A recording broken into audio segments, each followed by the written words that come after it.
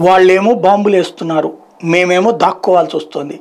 వాళ్ళేమో పేల్చేస్తున్నారు. మేమేమో మిమ్మల్ని ఆయుధాలు అడుక్కోవాల్సి వస్తుంది. ప్రపంచ దేశాలను నమ్ముకుని రష్యా అనేటువంటి శక్తివంతమైన దేశంతో మేము యుద్ధం చేస్తుంటే మీరందరూ ఏ ట్యాంకులు పంపించాలి ఎలాంటి ఆయుధాలు పంపించాలని మీలో మీరు కొట్టుకుంటా ఉంటుంటే ఇంకా మిమ్మల్ని ఎట్లా నమ్మాలి అని ఆక్రందిస్తున్నాడు ఉక్రెయిన్ అధ్యక్షుడు జెల్నెస్కి తాజాగా జరిగిన పరిణామాల్లో.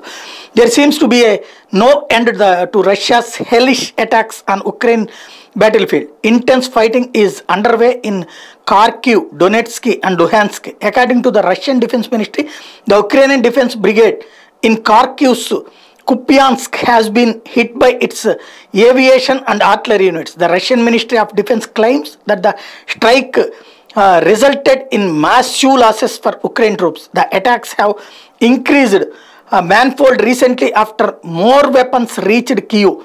Moscow has been issued a global disaster warning to the West for arms supply.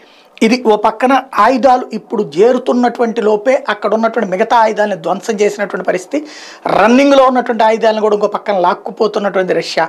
ఈ నేపథ్యంలో ప- Putin's global disaster dare over arms aid ఒక ఎత్తు అయితే Zelensky blames west indecision for setbacks. మీరు ఇప్పటికీ ఇలాగైతే ఎట్లా అని అడుగుతున్నాడు జెల్నెస్కి.